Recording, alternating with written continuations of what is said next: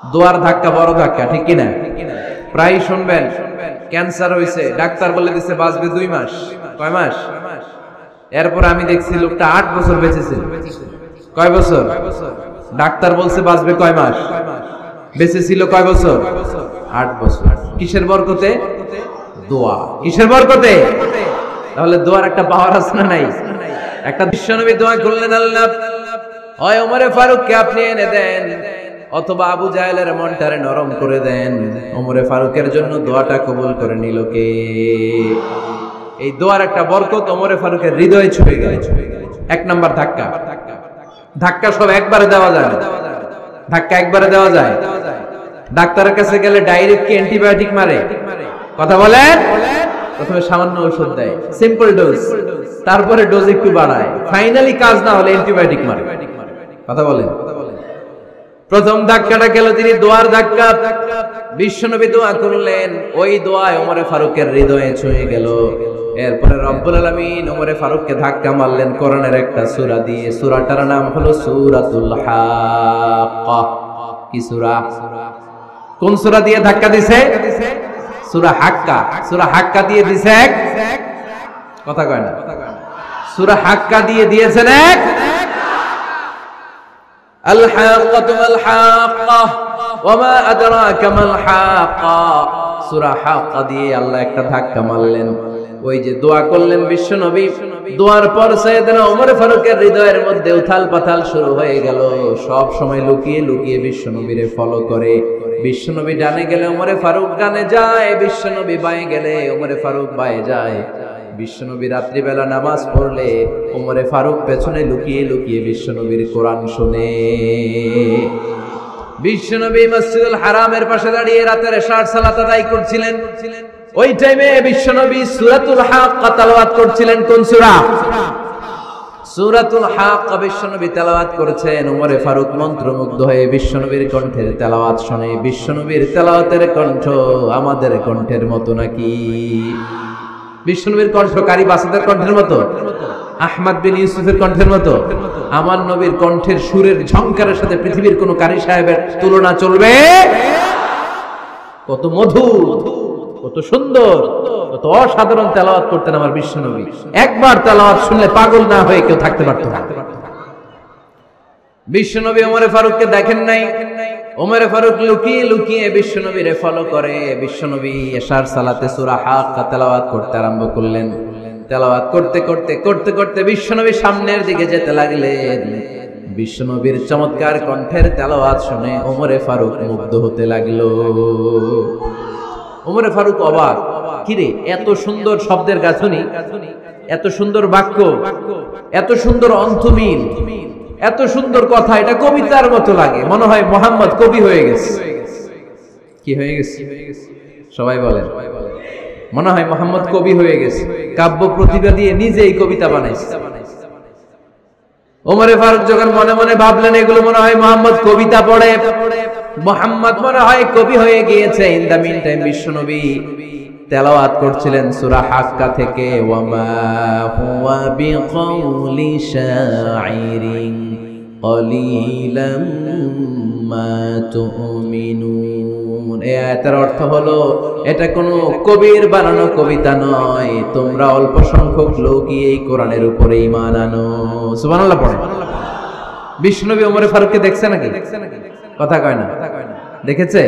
না। বিশ্বনবী বিশ্বনবীর মতো তেলাওয়াত করে যাচ্ছে। ওমর ফারুক যখন মনে করলেন কি রে এই কথাগুলো এত সুন্দর? এটা মনে হয় কবিতা। ইন দ্য মেইন টাইম বিশ্বনবী যে আয়াতটা তেলাওয়াত করছিলেন কোইনসিডেন্টলি দৈবাত মিলে গিয়েছে। ওই আয়াতের অর্থ ছিল এটা কোনো কবির বানানো কবিতা না। খুব অল্প সংখ্যকই তোমরা ইমান আনো। এবার তোমরে ফারুক আটকে ওঠেন। ঘটনা কি? আমি মনে মনে ভাবলাম মোহাম্মদ কবি। আর যেটা পড়তেছে এটা কবিতা। কিন্তু মোহাম্মদ আমার দেখেও নাই কিন্তু বলতেছে এটা কবির বানানো কবিতা না। তাহলে মোহাম্মদ মনে হয় গণক হয়ে গেছে। কার মনে কি চলে না দেখেই বলতে পারে। নাজবিল্লাহ পড়বেন না? ওমর ফারুক এবার মনে মনে ভাবে, মোহাম্মদ, তাহলে কবি না আগেরটা ভুল? ভুল ধারণা আমি করেছি, মোহাম্মদ কবি নয়, মোহাম্মদ হলো গণক। আওয়াজ করে পড়েন না মোহাম্মদ মানুষের মনে কি চলে, গণনা করে সব টের পেয়ে যায়, সব বুঝতে পারে।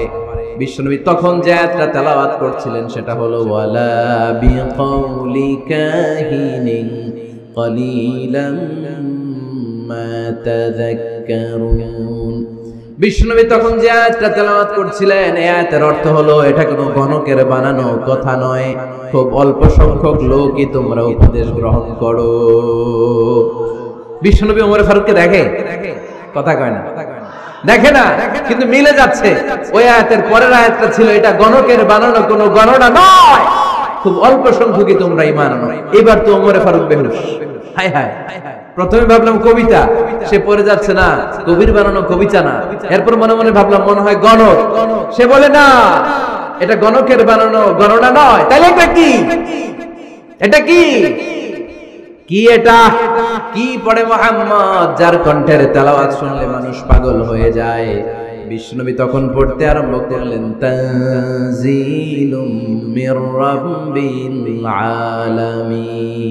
এর মানে হলো এটা কবিতা না, এটা গণকের বানানো গণনা না, মানুষের বানানো কিচ্ছু না, এটা গোটা বিশ্বের রব আল্লাহ পাকের বাণী। পড়ে। এই দুই নাম্বার ডোজ করল প্রথম ডোজ পড়ছে দোয়ার ডোজ। প্রথম ডোজ কিসের? দোয়ার। দুই নাম্বার, সূরা হাক্কা দিয়ে আল্লাহ দিলেন এক ধাক্কা। এই সূরা হাক্কার ওই ঘটনার পর উমরে ফারুক তো পাগল। পাগল পড়া, কি ঘটে গেল আমার সাথে ওই দিন? আমি মনে মনে যা ভাবি সব মোহাম্মদ বুঝে। আল্লাহ দুই নাম্বার ডোজ দিলেন সূরা হাক্কা দিয়ে এক ধাক্কা। সুবহানাল্লাহ পড়েন। এরপরে ওমরে ফারুক প্রায় বিশ্বনবীর কথা ভাবেন। বিশ্বনবী কোথায় যান? লুকিয়ে লুকিয়ে দেখেন। এবার রব্বুল আলামিন ভাবলেন, এবার সূরা তহা দিয়ে আমি তিন নাম্বার ডোজ দিয়ে দিব, পড়েন সুবহানাল্লাহ। এবার তিন নাম্বার ডোজ পাবেন। কিন্তু শয়তান ওয়াসওয়াসা দিচ্ছে। ওমরে ফারুক, যাও। মক্কায় ঘোষণা হয়েছে, মোহাম্মদের কল্লা এনে দিতে পারলে এত এত স্বর্ণ মুদ্রা শয়তানের ওয়াসওয়াসায় আবার ভুল পথে হাঁটতে লাগলেন সৈয়দনা উমর। নাঙ্গা তরবার নিয়ে বিশ্বনবীর মাথা কাটার জন্য বের হয়ে গেলেন। বনু জাহারা গোত্রের একটা লোক বলে, ওমর, তুমি কোথায় যাও? ওমরে ফারুক বলেন, মোহাম্মদের কল্লা কাটার জন্য যাচ্ছি, পড়েন নাউজুবিল্লাহ আবু জাহারা গোত্রের লোক বলে, তুমি মোহাম্মদের কল্লা কাটতে যাও। আরে, তোমার বোন ফাতেমা বিনতে খাত্তাব আর তোমার বোনের জামাই সাঈদ। এরা তো দুজন কালিমা পড়ে মুসলমান হয়ে গেছে। আরে, মোহাম্মদের কল্লা পরে কেটো, আগে ঘর সামলাও যে ওমর। আগে ঘর সামলাও। পরে তুমি মোহাম্মদের কল্লা কাটতে যাও। ওমরে ফারুক রেগে গেলেন, রাস্তা ঘুরিয়ে বাড়ির দিকে চলতে আরম্ভ করলেন। রাগে তিনি গড়গড় করছেন। ওমরে ফারুকের বোন ফাতেমা বিনতে খাত্তাব, বোনের জামাই সাঈদ, তাদের দুইজনকে খাব্বাব রাদিয়াল্লাহু তাআলা আনহু সূরা তাহা ঘরের ভিতরে তেলাওয়াত করে শোনাচ্ছিল, পড়েন সুবহানাল্লাহ। সূরা তাহা দিয়ে আল্লাহ একটু পরে ধাক্কা মারবে আরেকবার ওমরে ফারুক যখন আসলেন, ওমরে ফারুকের আওয়াজ শুনে খাব্বাব রাদিয়াল্লাহু তাআলা আনহু লুকিয়ে গেলেন। ওমরে ফারুক দরজার মধ্যে কড়া নাড়লেন। বোন বলে, কে তুমি? সৈয়দনা ওমর বললেন, আমি ওমর। খুলে দেওয়া হলো। ঘরের ভেতরে ঢুকেই কথা নাই, বার্তা নাই। নিজের আপন বোনকে মারতে শুরু করল ওমর। বোন জামাইকে আঘাত করতে শুরু করল। মারতে মারতে নিজের কলিজার টুকরা বোনকে, বোনের জামাইকে সৈয়দনা ওমরে ফারুক পিটাতে পিটাতে রক্তাক্ত করে ফেললেন। গা দিয়ে ফিনকি বের বের হয়ে যখন রক্ত বের হয় সৈয়দনা ওমরে ফারুকের দিলের মধ্যে মায়া তৈরি হয়ে যায়। সৈয়দনা ওমরে ফারুক বললেন, আমার কলিজার টুকরা বোন আর বোন জামাই, তোরা কেন মোহাম্মদের কথায় পাগল হলি? বুঝলাম না কেন মক্কার লোকগুলো পাগল পড়া হয়ে সব মোহাম্মদের দলে চলে যায়। কি এমন কথা মোহাম্মদ তোদের শোনায়, কি এমন বাণী তোদের শোনায় যে বাণী শুনে সব তোরা মোহাম্মদের দলে চলে গেলি? কি আছে মোহাম্মদের কাছে? কি? কি জাদুটা কি? কি জাদু পেলি সেখানে? আমার একটু দেখা। বোন ফাতেমা বলে, না ভাই, ইন্নাকা রিজিস তুমি নাপাক।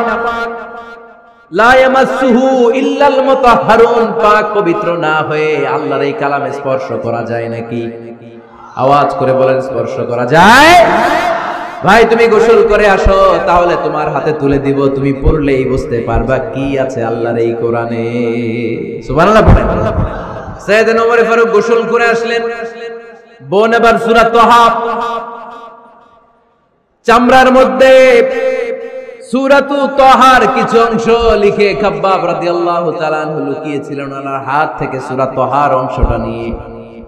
ওমরে ফারুকের বোন ওমরে ফারুকের হাতে দিয়ে বলল, ভাই, তুমি আসার আগে এই অংশটা সবাই মিলে তেলাওয়াত করছিলাম। ওমরে ফারুকের হৃদয়টা তখন একেবারে নরম, কারণ আগে ধাক্কা খাইছে কয়টা? জোরে বলতে হবে। প্রথম ধাক্কাটা কিসের? হ্যাঁ? দোয়া। দ্বিতীয়টা? হাক্কা। নাম? হাক্কা দিয়ে দিছেন আল্লাহ? ধাক্কা। এবার দিবে সুরা তোহার ধাক্কা। ওমরে ফারুক হাতে নিলেন। খুব ভালো আরবি জানতেন। চমৎকার আরবির অর্থ বুঝতেন, কারণ আরবি ভাষাভাষী মানুষ। হাতে নিয়ে নজর দেওয়ার পরে ওনার চোখ দিয়ে দাঁড় দাঁড় করে পানি বের হয়ে গেল। ওমরে ফারুক আয়াতগুলোর দিকে তাকিয়ে পড়তে আরম্ভ করলেন, তহা মা أنزلنا عليك القرآن لتشقى إلا تذكرة لمن يخشى تنزيلا ممن خلق الأرض والسماوات العلا পড়েন সুবহান আল্লাহ উনি পড়তে আরম্ভ করলেন তহা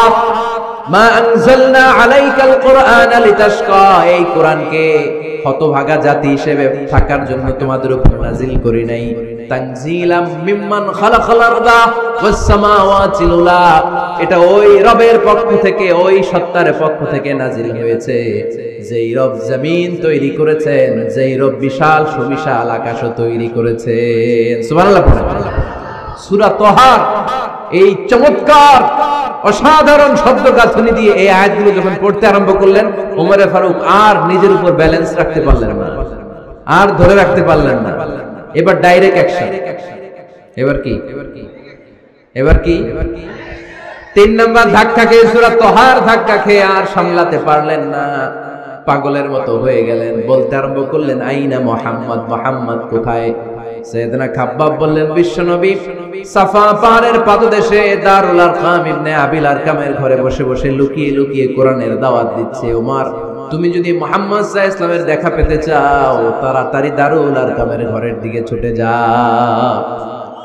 ওমরে ফারুক তলোয়ার নিয়ে ছুটলেন, পাগলের মতো ছুটলেন, আর ধৈর্য ধারণ করতে পারেন না।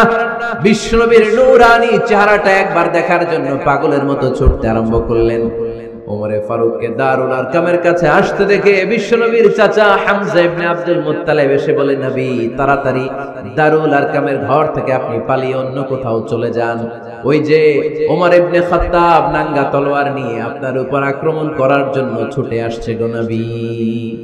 বিষ্ণুই বললেন, ও আমার সাহাবারা, ও আমার চাচা হামজা, সবাই আপনারা সরে যান। ওমর রে আসতে দেন ওমর রে বাধা দিয়েন না। কারণ কিছুদিন আগে তাহাজ্জুদের নামাজ পড়ে আমি আল্লাহর কাছে একটা বিশেষ দোয়া করেছি। আমার মন বলছে ওই দোয়াটা আল্লাহ কবুল করতে শুরু করেছে। ওমরে ফারুক চলে আসলেন। এসে কোনো কথা নাই, চিৎকার দিয়ে বললেন সাধু আল্লাহ ইলাহা ইল্লাল্লাহ।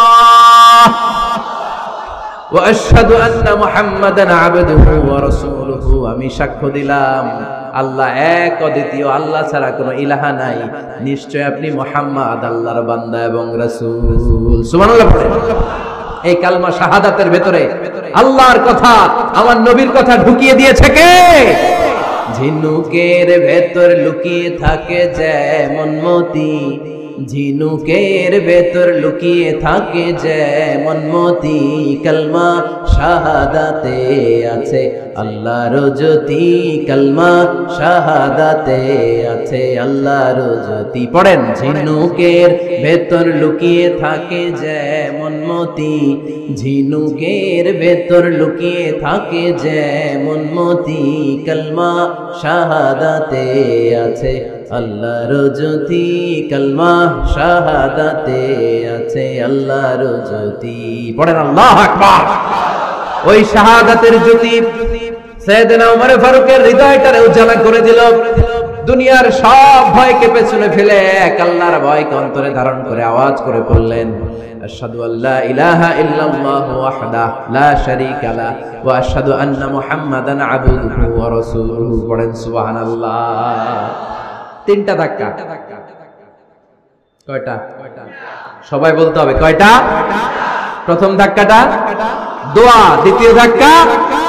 হাক্কা তৃতীয় ধাক্কা, সূরা তহা, তিনটা ধাক্কার মাধ্যমে সাইয়েদনা ওমরে ফারুককে মুসলমানদের লিডার বানায় দিল কে? ওমর ফারুক কালিমা পড়ে মুসলমান হয়ে গেছে। ন মুসলিম সাহাবাদের মধ্যে আনন্দের বন্যা বয়ে গেল। বিশ্বনবী খুশি হয়ে গেলেন। আল্লাহ শুক্রিয়া করলেন, আল্লাহ, তুমি আমার দোয়া ফিরিয়ে দাও নাই। আমি বলেছি, দুজনের একজনকে চাই। তুমি ওমরে ফারুককে দান করেছ বলেন আলহামদুলিল্লাহ। এবার ওমরে ফারুক বিশ্বনবীর প্রশ্ন করলেন, নবী, আলাসনা আলাল হক? আমি প্রশ্ন করি, উত্তর দেন, আমরা কি সত্যের উপর নাই? বিশ্বনবী বললেন, বালা, ওমর, আমরা এই সত্যের উপরে আছি। আমাদের কোরআন কি সত্য নয়? বিশ্বনবী বললেন কোরআন ও সত্য। আমাদের রব আল্লাহ কি সত্য নন? বিশ্বনবী বললেন, সত্য। ওমরে ফারুক বললেন, তাহলে ফিম আল ইখতিফা, তাহলে লুকিয়ে লুকিয়ে আর গোপনে দাওয়াতি কাজ কেন? আপনি সত্য নবী, কোরআন সত্য, কিতাব, আমার রব, আল্লাহ সত্য। আর আমি ওমর কালিমা পড়ে মুসলমান হয়ে গিয়েছি, তাহলে ফিমান ইখতিফা। আর লুকিয়ে লুকিয়ে কোরআনের দাওয়াত দিবেন কেন? বের হন। মক্কার শহরের মাঝখানে চলে আসেন, চিৎকার করে আমরা আল্লাহর নামের ঘোষণা দেব। বিশ্বনবী বললেন, না ওমর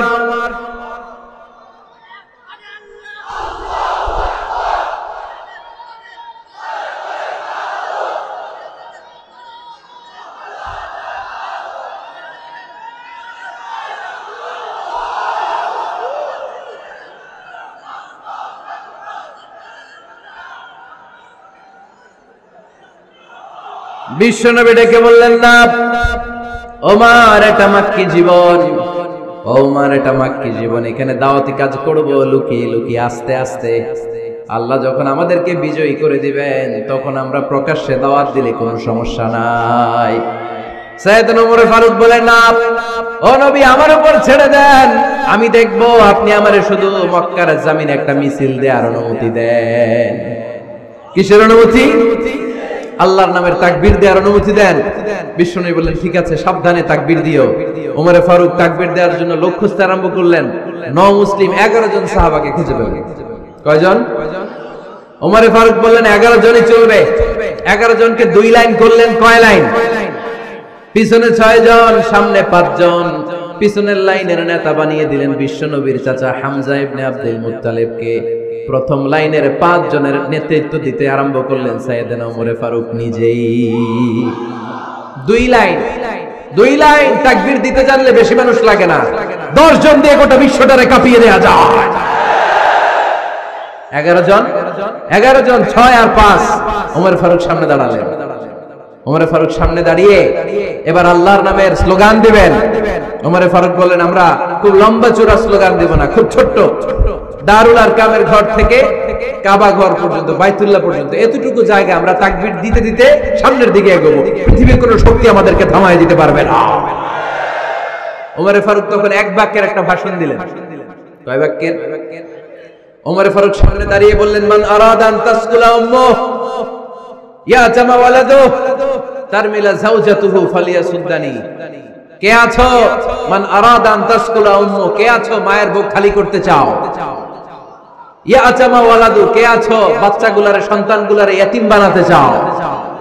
তার মিলা জাওজাতুহু, কার এত বড় বুকের পাটা আছে দেখি? কে আছো? স্ত্রীকে বিধবা বানাতে চাও। বুকের পাটা থাকলে আমি উমর রে থামাও। যদি সাহস থাকে, আমি উমরের মিছিল থামাও। ওমর ফারুক শুরু করলেন, আল্লাহ আকবার। আল্লাহ আকবার আল্লাহ আকবার। স্লোগান দিতে দিতে সাইয়েদনা ওমরে ফারুক, কাবার গিলাফ যে স্পর্শ করলেন, ওমরে ফারুকের স্লোগান কেউ থামাতে পারে নাই। কিয়ামত পর্যন্ত এই আল্লাহর নামের স্লোগান কেউ থামাতে পারবে না, চিল্লায় বলো, ঠিক কিনা?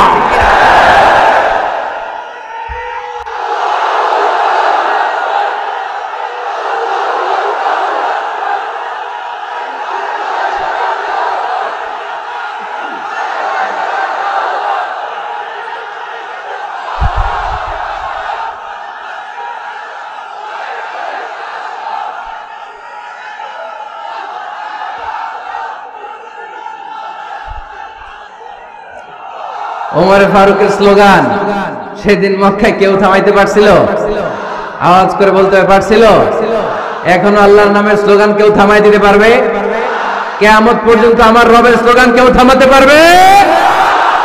পারবে না। ওমরে ফারুক স্লোগান দিলেন, আবু জাহেল উতবা সাইবা ওয়ালিদ ইবনে মুগীরা, আল্লাহু আকবার ধ্বনি শুনে বাইরে আসছে। কিরে, এত বড় স্লোগান? আমাদের কাছ থেকে পারমিশন নেয় নাই, অনুমতি নেয় নাই। অনুমতি নেওয়া ছাড়াই স্লোগান শুরু। বের হয়ে দেখে মিছিলের সামনে ওমর। ওমরে ফারুককে দেখে আবু জাহেল দিছে এক দৌড়। উৎপা দিছে আরেক দৌড়। সাহেবা দিছে বউ দৌড়। সুবহানাল্লাহ পড়বেন না? এজন্য ওমর বেশি লাগে না, ওমর লাগে একজন। চিল্লায় বলতে হবে, ওমরে ফারুক লাগে কয়জন? একজন ওমারই গোটা বিশ্বের চেহারা পাল্টে দিতে সক্ষম চিল্লায় বলেন, ঠিক কিনা? গোটা বিশ্বে মুসলমানদের আছে করুণ অবস্থা। আমাদের কোনো সেন্ট্রাল লিডারশিপ নাই। আমাদের মুসলিম দেশগুলোর এক করে রাখবে, ভাইয়ের ভাইয়ের মতো রাখবে, আমাদের স্বার্থ নিয়ে কথা বলবে। এরকম নেতা আমাদের নাই, ঠিক কিনা? আমরা সেই ওমরে ফারুকের অপেক্ষায়। আমরা সেই ইমাম আল মাহাদির অপেক্ষায়। যার একটা হুঙ্কারে আর আহ্বানে গোটা বিশ্বের সব মুসলমান এক প্ল্যাটফর্মে চলে আসবে। ওইরকম নেতা একজন লাগবে। কয়জন? গোটা মুসলিম উম্মাকে একত্রিত করার জন্য একজন উমরে যথেষ্ট, ঠিক কিনা? আবার বিষ্ণু বলছেন, লা নাবিয়্যা বা'দি ওয়ালা রাসূলা। আমার পরে কোনো নবী নাই, আমার পরে কোনো রাসূল নাই। তবে লাউ কানা বা'দি নাবিয়্যুন লাকানা আমার আমি নবীর পরে যদি নবী হওয়ার যোগ্যতা কারও থাকে, আমার ওমরের মধ্যে সেই যোগ্যতা আল্লাহ দিয়েছে। প্রভু, তুমি বলেছ রাসূল দেবে না। বলনি দেবে না ওমর বলনি দেবে না হামজা তারি খালিদ বিজয় সমর, প্রভু তুমি বলেছ রাসূল দেবে না। বলনি দেবে না বলনি দেবে না হামজা তারি খালিদ বিজয় সমর, প্রভু তুমি বলেছ রাসূল দেবে না। একটা আমার দরকার। কয়জন দরকার? কয়জন দরকার? এই পুরা উম্মা, মুসলিম উম্মার মধ্যে ওনার পজিশন নাম্বার থ্রি ওমর ফারুকের পজিশন নাম্বার এক নাম্বার পজিশন বিশ্বনবী সাল্লাল্লাহু আলাইহি ওয়াসাল্লাম। দ্বিতীয় পজিশন দ্বিতীয় পজিশন আবু বকর আর তিন নাম্বার পজিশন সুবহানাল্লাহ, পড়বেন না? আশরাতুল মুবাশশিরিনা বিল জান্নাহ। জান্নাতের সুসংবাদ প্রাপ্ত অনেক সাহাবার কথা হাদিসে পাওয়া যায়। কিন্তু এক হাদিসে আল্লাহ রাসূল সাল্লাল্লাহু আলাইহি জন সাহাবীর কথা বলেছেন। ওই 10 জনের ভেতরে সাইয়েদনা ওমর ফারুক আছে না নাই? আবার ওমর ফারুক ছিলেন বিশ্বনবীর শ্বশুর। সাইয়েদনা ওমর ফারুকের কন্যা হাফসা রাদিয়াল্লাহু তাআলা আনহাকে বিশ্বনবী বিয়ে করে ওমর ফারুকের জামাই হয়েছে। আর ওমর ফারুককে বিশ্বনবী শ্বশুর বানিয়েছে। সুবহানাল্লাহ, পড়েন। আগে জানতেন এটা? ওমরে ফারুক রাদি আল্লাহ যে বিশ্বনবীর শ্বশুর ছিল, এটা আজকে প্রথম জানলেন। কে কে দেখি? দেখছেন? অনেকেই জানে না হাত নামান, আমরা জেনে নিব, জানতে কোনো সমস্যা নাই। বাঁচতে হলে জানতে হবে। বাঁচতে হলে কি করতে হবে? জানতে হবে। চারজন খালিফার, দুইজন হচ্ছে বিশ্বনবীর। মেয়ের জামাই, বাকি দুইজন হচ্ছে বিশ্বনবীর শ্বশুর। সেদিনা ওসমান তাআলা আনহুর কাছে বিষ্ণু ইসলাম দুই কন্যাকে বিয়ে দিয়েছে। বিষ্ণু ইসলামের মোট কন্যা চারজন। কয়জন? বড় মেয়ের নাম জাইনাব তাআলা আনহা। ওনার স্বামীর নাম ছিল আবুল আস ইবনুর রাবি' তার পরের মেয়ের নাম হচ্ছে উম্মে কুলসুম। ওনাকে বিয়ে দিয়েছিলেন বিশ্বনবী সাইয়েদনা ওসমান রাদিয়াল্লাহু তাআলা আনহুর সাথে। উম্মে কুলসুম রাদিয়াল্লাহু তাআলা আনহা আনহার ইন্তেকালের পরে আরেক মেয়ে রুকাইয়াকে বিশ্বনবী সাইয়েদনা ওসমানের কাছে আবার বিয়ে দিয়ে দিলেন। সুবহানাল্লাহ পড়েন আর সবচেয়ে ছোট্ট কন্যা ফাতেমা রাদিয়াল্লাহু তাআলা আনহাকে বিয়ে দিয়ে দিলেন নিজের চাচাতো ভাই সাইয়েদনা আলী রাদিয়াল্লাহু আল্লাহ আনহুর সাথে। তার মানে সাইয়েদনা ওসমান আর সাইয়েদনা আলী ছিল বিশ্বনবীর মেয়ের জামাই, ঠিক কিনা? আর সাইয়েদনা আবু বকর রাদিয়াল্লাহু তাআলা আনহুর কন্যা আয়েশা রাদিয়াল্লাহু তাআলা আনহাকে বিশ্বনবী বিয়ে করে আবু বকর রাদিয়াল্লাহু তাআলা আনহুকে বানালেন শ্বশুর। আর ওমরে ফারুকের কন্যা হাফসা রাদিয়াল্লাহু তাআলা আনহাকে বিয়ে করে ওমরে ফারুককেও বানালেন শ্বশুর। তাহলে চার খলিফার দুইজন জামাই? দুইজন দুইজন? আওয়াজ করে বলতে হবে, চার খলিফার দুইজন? বাকি দুইজন? উমরে ফারুক রাদি আল্লাহ চালানহুকে আল্লাহ তালা জ্ঞানও দিয়েছেন, আবার প্রজ্ঞাও দিয়েছেন। জ্ঞান আর আল্লাহর ভয় তাকোয়া আমার প্রিয় ভাইরা রামগঞ্জের ভাইরা তাই না? রামগঞ্জ। রামগঞ্জের ভাইরা কোন ব্যক্তিকে যদি আল্লাহ তালা জ্ঞান দেয়, আবার যদি তাকোয়ার গুণ দেয়, জ্ঞানও আছে, আবার আল্লাহর ভয়ও আছে, এই লোকের কেউ থামায় রাখতে পারবে এরা কেউ থামায় রাখতে পারে? না। সে গোটা বিশ্ব জয় করছে সেদিন ওমরে ফারুককে আল্লাহ তাআলা জ্ঞানও দিয়েছেন আবার দিয়েছেন পড়ে। বিশ্বনবী সাল্লাল্লাহু ইসলাম স্বপ্ন দেখলেন বিশ্বনবী দুধ খাচ্ছেন। আঙ্গুলের ভেতর দিয়ে ফাঁক দিয়ে দুধ বের হয় বিশ্বনবী দুধ খাচ্ছেন। খেতে খেতে একটু দুধ আঙ্গুলে লেগে আছে এই আঙ্গুলটা কারও মুখে না দিয়ে বিষ্ণু ইসলাম ওমরে ফারুকের মুখের ভিতরে ঢুকাই দিলেন। অতিরিক্ত দুধটা ওমরে ফারুক খেলেন। সাহাবারা বললেন মা দা ওয়ালতা বিহি রাসূলুল্লাহ হে আল্লাহ রাসূল এই স্বপ্ন দিয়ে কি বুঝালেন? বুঝলাম না। বিষ্ণু ইসলাম বললেন আউয়াল তু বিহি আল ইলম। এটা দিয়ে আমি জ্ঞান বুঝিয়েছি। কারণ অতিরিক্ত দুধের অংশটা আমি কাউরে না দিয়ে ওমরকে দিয়েছি, তার মানে ওমরের জ্ঞানের কোনো তুলনা হয় না। এজন্য স্বপ্নে যদি কেউ দেখেন আপনি দুধ পান করছেন, এটা প্রমাণ করে আল্লাহ তাআলা আপনাকে দিনের জ্ঞান দান করবে। আবার বিশ্বনবী সাল্লাল্লাহু আলাইহি ওয়াসাল্লাম আবার আর এক রাতে স্বপ্ন দেখলেন। সাহাবারা লাইন ধরে বিশ্বনবীর সামনে দাঁড়ানো। কোন সাহাবার জামা নাভি পর্যন্ত, কোন সাহাবার জামা হাঁটু পর্যন্ত, কোন সাহাবার জামা টাকনু পর্যন্ত, কোন সাহাবার জামা আরও ছোট, কিন্তু ওমরে ফারুকের জামা বিশ্বনবী দেখলেন এত বড়, টেনে হিচড়ে হিচড়ে বিশ্বনবীর সাথে চলছে। সাহাবারা বললেন, মা দাওয়ালতা বিহি ইয়া রাসূলুল্লাহ। হে আল্লাহর রাসূল, এটা দিয়ে আপনি কি বুঝাতে চাইলেন? বিশ্বনবী বললেন, আউয়াল তু বিহি তাকওয়া। এটা দ্বারা আমি আর দিন দিনদারি বুঝালাম, তাকওয়া বুঝালাম। সুবহানাল্লাহ পড়েন। বিশ্বনবী দেখলেন, কোন সাহাবার জামা এতটুকু। কোন সাহাবার জামা এত লম্বা। কোন সাহাবার জামা পা পর্যন্ত লম্বা। আর ফারুককে দেখলেন ওনার জামা এত লম্বা ফারুক টেনে হিচড়ে জামা নিয়ে চলতেছে। বুঝাতে চাইলেন, ওমরের যেহেতু জামা লম্বা, ওমরের ভেতরে আল্লাহর ভয়, দিনদারিও খুব বেশি, চিল্লায় বলেন, ঠিক না দিয়েছেন, আবার দিনদারিও দিয়েছেন। এই দুইটা জিনিস যদি থাকে, এই পৃথিবীতে তাকে সফল রাষ্ট্রনায়ক বানায় দেয় কে? আবার এই পৃথিবীর বুকে যত নারীরা জান্নাতে যাবে, সব নারীদের সর্দারিনী হবে। এই দুনিয়াতে যত যুবকরা জান্নাতে যাবে, তাদের সর্দার হবে সাইয়েদনা হাসান আর হুসাইন রাদিয়াল্লাহু তাআলা আনহুমা।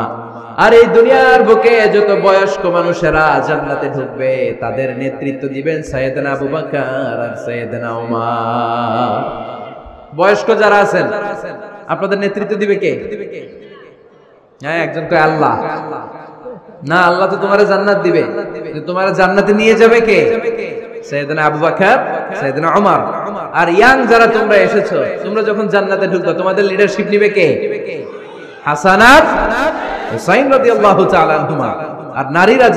প্রবেশ করবে, এই নারীদের নেতৃত্ব দিবে বিশ্বনবীর কলিজার টুকরা নয়নের বুটুলি সাইয়্যিদাতুনা ফাতিমা রাদিয়াল্লাহু তাআলা সুবহানাল্লাহ, পড়বেন না?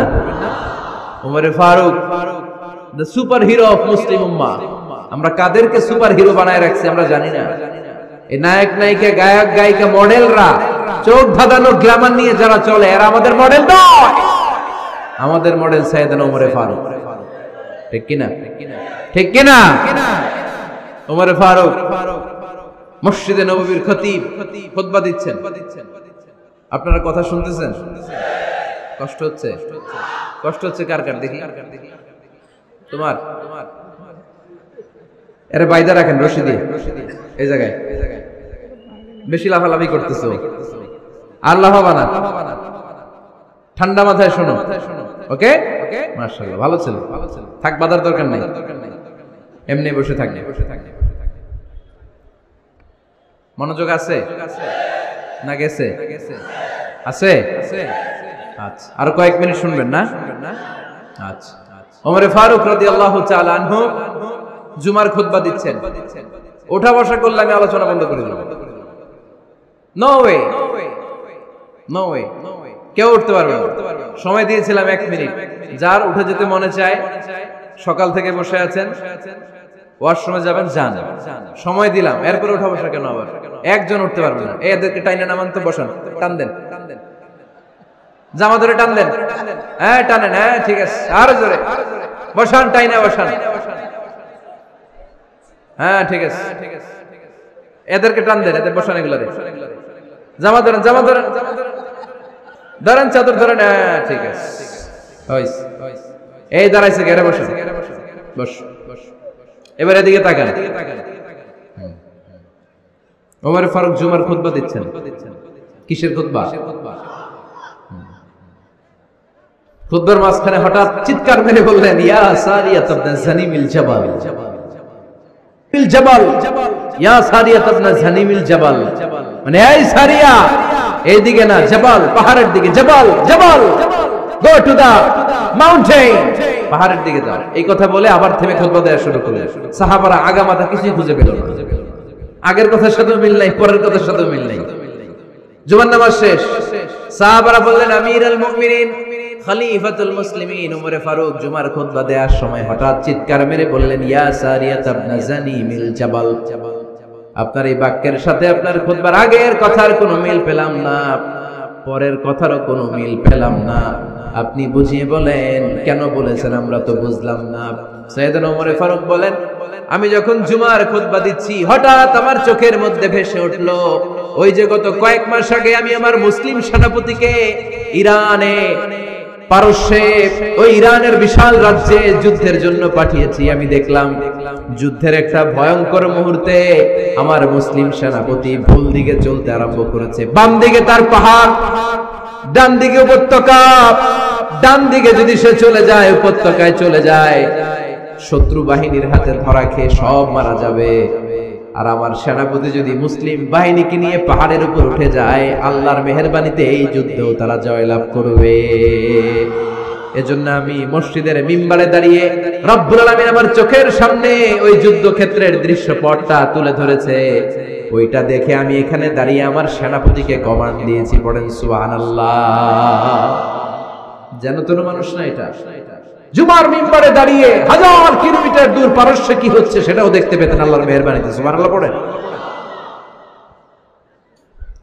সাহাবারা বিশ্বাস করে নিলেন, কিন্তু মুনাফিক টাইপের যেগুলো, এগুলো বলে, এটা আবার কেমন কথা? উনি আছেন মদিনার মিম্বারের মধ্যে দাঁড়িয়ে হাজার হাজার কিলোমিটার দূরে কি হচ্ছে উনি দেখবেন কেমনি? এরা বিশ্বাস করল না, সাহাবারা সবাই বিশ্বাস করল মুনাফিকগুলো বিশ্বাস করল না। তারা মনে মনে ভাবলো, এই মুসলিম সেনাপতি বিজয়ের বেশে যেদিন মদিনায় আসবে, আমরা মদিনার উপকণ্ঠে দাঁড়িয়ে থাকব, ওদেরকে জিজ্ঞেস করব, এমন এমন দিন ওমরে ফারুকের কণ্ঠের কোনো আওয়াজ শুনতে পেরেছিলে কিনা?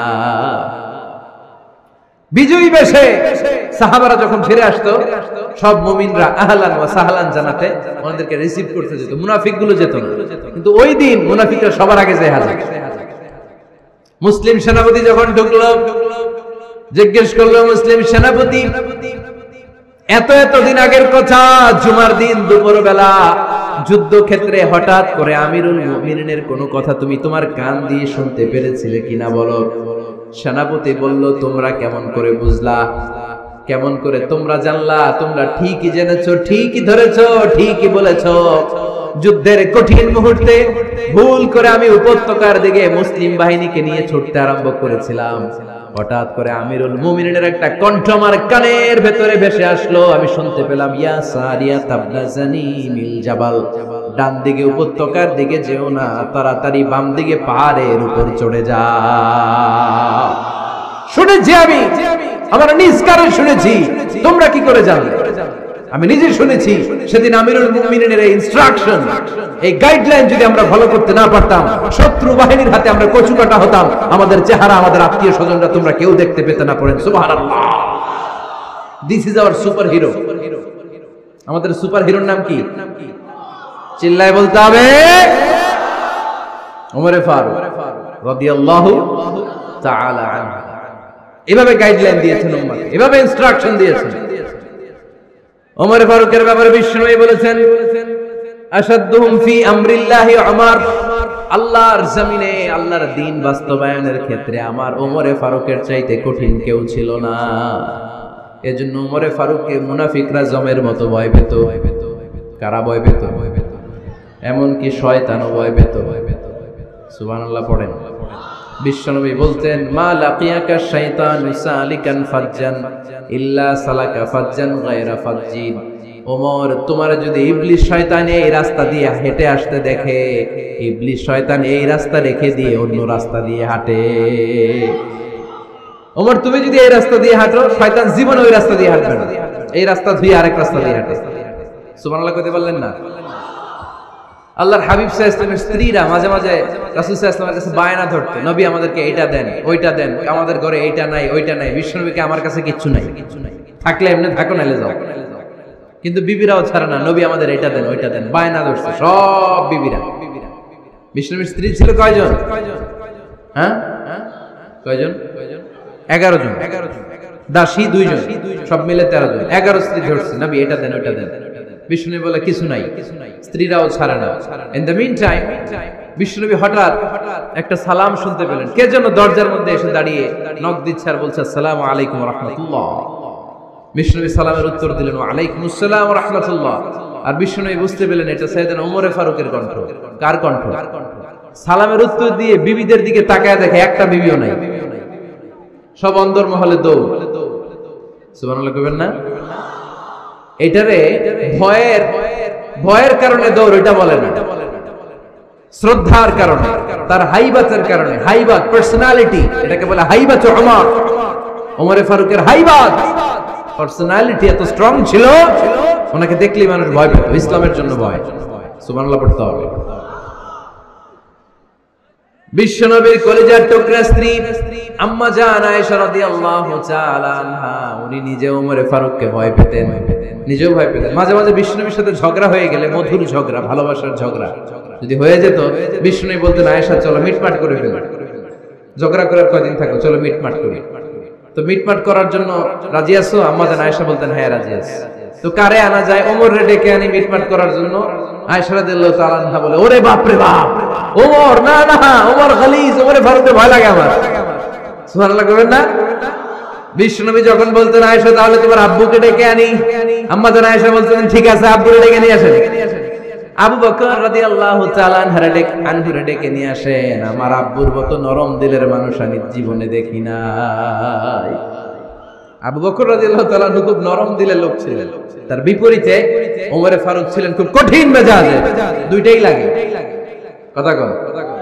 নরমও যেমন লাগে, গরমও লাগে। নরম গরমের সমন্বয় দরকার আছে না নেই? আর সুপার হিরো ওমরে ফারুক রাদিয়াল্লাহু তাআলা আনহু। আমরা, যাদের আমাদের ছোট্ট বাচ্চা আছে, ঘরে দুই বছর, তিন বছরের শিশু আছেন আমাদের রাতের বেলা দেখবেন খেতে চায় না, খালি মায়ের জ্বালায়। তো মা তখন বলে, এই খাও, নাইলে ভূত আসবে। ওই যে বিড়াল বিড়াল আসবে, বাঘ আসবে, ভাল্লুক আসবে। এগুলো বলে না? এগুলো বলে ভুলিয়ে বালিয়ে বাচ্চাকে ভয় দেখে খাওয়াতে চায়। লক্ষ্মীপুরে আপনারা কিসের ভয় দেখান? হ্যাঁ ভূতের? কিসের? কিসের? বাঘের? কালা বিলাই কালাসান আচ্ছা তো এই যে বাঘ আসবে, ভাল্লুক আসবে তাড়াতাড়ি খাও, বাঘ আসবে। বাঘের কথা শুনলে বাচ্চারা খেয়ে ফেলছে ভয়ে। এই ভূত আসলে ভূত, তাড়াতাড়ি খা। না খাইলে ভূতে ধরবে তোরে খা। সাথে সাথে খায়। মদিনাতে যখন উমরে ফারুক রাদিয়াল্লাহু তাআলা মদিনার খলিফা তখন মদিনার বাচ্চারাও মাদেরকে এরকম জ্বালাতো, খেতে চাইতো না। মায়েরা খাবার নিয়ে বাচ্চাদের পেছনে ঘুরতো। তখন মদিনার মায়েরা বাচ্চাদেরকে বলতো, তাড়াতাড়ি খাও। হা হুয়া ইয়াতি ওমর হুয়া ওমর তাড়াতাড়ি খাও ওই যে ওমর আসতেছে ওমর ওমর আসতেছে শুনলেই বাচ্চারা তাড়াতাড়ি খেয়ে ফেলতো। বাঘের মতো ভয় পেত, চিল্লায় পড়েন আল্লাহ আকবার।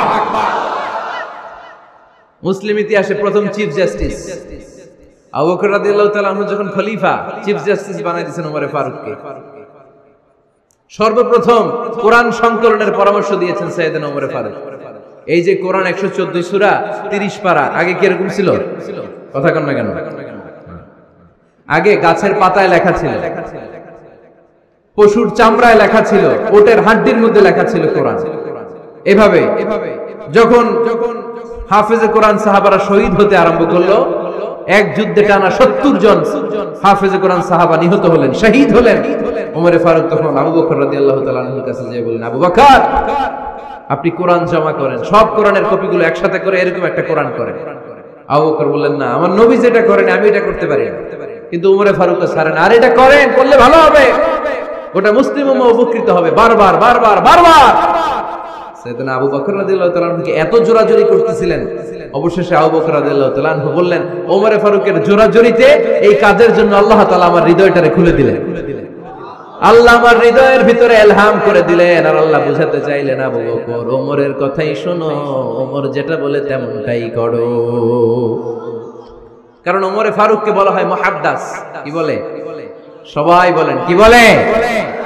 মহাদ্দেস নামিয়া।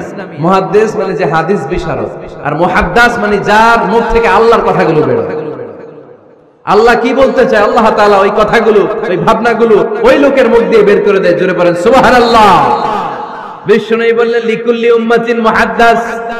সব উম্মতের মধ্যে আল্লাহ তাআলা একজন করে মুহাদ্দাস পাঠায়। আমার উম্মতের মধ্যে মুহাদ্দাস লোকটার নাম হলো ওমর বিভিন্ন সময়ে ওমরে ফারুক যেমনটা ভাবতেন, ঠিক তেমন তেমন কোরআনের আয়াত পাঠিয়েছে কে? মদিনার সবচেয়ে বড় মুনাফিকের নাম হচ্ছে আব্দুল্লাহ ইবনে উবাই ইবনে নাম শুনছেন? মুনাফিক চিনেন তো আপনারা? ভিতরে এক, বাইরে আরেক, তার নাম সর্দার হচ্ছে আব্দুল্লাহ ইবনে উবাই ইবনে ইন্তেকালের পরে তার ছেলে আব্দুল্লাহ এসে বলে, ইয়া রাসূলুল্লাহ। একটা চমৎকার ঘটনা, মনোযোগ দিয়ে শুনুন। ইয়া রাসূলুল্লাহ। আমার আব্বা আব্দুল্লাহ মুনাফিকদের লিডার আপনিও জানেন, আমিও জানি। কিন্তু আমার তো বাবা, আমার কি? আমার তো মায়া লাগে। আমার আব্বা ইন্তেকাল করেছে। আপনার গায়ের একটা জামা খুলে দেন। কি খুলে দেন? এই জামাটা দিয়ে আমার বাবার দাফন দিয়ে দাও। আর আপনি যে আমার বাবার জানাজার নামাজের ইমামতি করবেন, আসেন। ওমরে ফারুক বললেন, না, আপনি যাবেন বিশ্ব নবী দয়ার নবী, মায়ার নবী, রহমতের নবী। মায়া লেগে গেছে। আব্দুল্লাহর চোখের পানি দেখে যেতে আরম্ভ করলেন। ওমরে ফারুক বললেন, খবরদার নবী যাবেন না। বিশ্বনবী যাওয়ার জন্য রওনা হলেন। ওমরে ফারুক বিশ্বনবীর জুব্বা টেনে ধরলেন। সুবহানাল্লাহ কোন। আমাদের দেশে হইলে কি বলতাম আমরা? বেয়াদবি করছে না? না। সম্পর্কটা এমন ছিল। ওমরে ফারুক জুব্বা টেনে ধরেছেন। তখন আল্লাহ নাযিল করলেন, ইস্তাগফির লাহুম আও লা তাস্তাগফির লাহুম। ওয়া ইন তাস্তাগফির লাহুম 70 মাররাতান ফালাই ইয়াগফিরাল্লাহু লাহুম বিশ্বনবী ওমরে ফারুককে সরিয়ে দিয়ে জুব্বাটা হেঁচকা টান মেরে জানাজার নাম নামাজের ইমামতি করে আসলেন। আসার সাথে সাথে ওমরে ফারুকের পক্ষে আল্লাহ আয়াত নাজিল করলেন নবী। আপনি মুনাফিক সর্দারের জন্য ক্ষমা চান, কিংবা না চান, জুব্বা দেন, কিংবা কাঁদেন, যাই করেন না কেন, সত্তর বারও যদি এই মুনাফিক সর্দারের জন্য আপনি ক্ষমা চান, আমি আল্লাহ আপনার এই দোয়া কবুল করব না। খবরদার, এটাই ফার্স্ট এটাই লাস্ট আর কোন মুনাফিকের জানাজা দিতে আপনি যাবেন? না। ওমর ফারুকের পক্ষে করোনার আয়াত নাজিল করেছে কে? ওইরকম ওমর আমাদের কয়টা লাগবে? চিল্লায় বলতে হবে কয়টা? কারণ সাইয়েদান ওমরে ফারুক আমাদের অনুপ্রেরণা। সাইয়েদান আবু বকর আমাদের অনুপ্রেরণা। হামজা আমাদের অনুপ্রেরণা। সাইয়েদানা বেলাল ইবনে রাবাহ আমাদের অনুপ্রেরণা। নায়ক নায়িকা গায়ক গায়িকা আমাদের অনুপ্রেরণা নয়। এজন্য আমরা সাহাবীদের জীবনী পড়ি। রাজি আছেন? হাত তুলে আল্লাহর দেখান। আওয়াজ করে বলেন আল্লাহ। আরও জোরে বলেন আল্লাহ। নবীর সাহাবারা, আমাদের মডেল। আমরা যেন সাহাবাদের দেখানো পথে, মতে থাকতে পারি, চলতে পারি, আমল করতে পারি, সমাজটারে পরিবর্তন করতে পারি। তুমি তৌফিক দাও। আমিন। আর জোরে পড়ি আমিন। আমরা যখন সাহাবাদের জীবনী পড়ি, ওমরে ফারুকের জীবনীতে এরকম অসাধারণ অনেক অনুপ্রেরণা আপনি খুঁজে পাবেন। সৈয়দনা আবু বকরের জীবনী থেকে অনেক অনুপ্রেরণা আপনি খুঁজে পাবেন। এগুলো আপনার ইমানকে চাঙ্গা করবে, আল্লাহর পথে অটুট থাকতে আপনাকে সহায়তা করবে। রাজি আছেন তো সবাই? আল্লাহ আমাদের সবাইকে কথাগুলো বুঝা, আমল করার তৌফিক দান করুক, আমরা সবাই পড়ি, আমিন।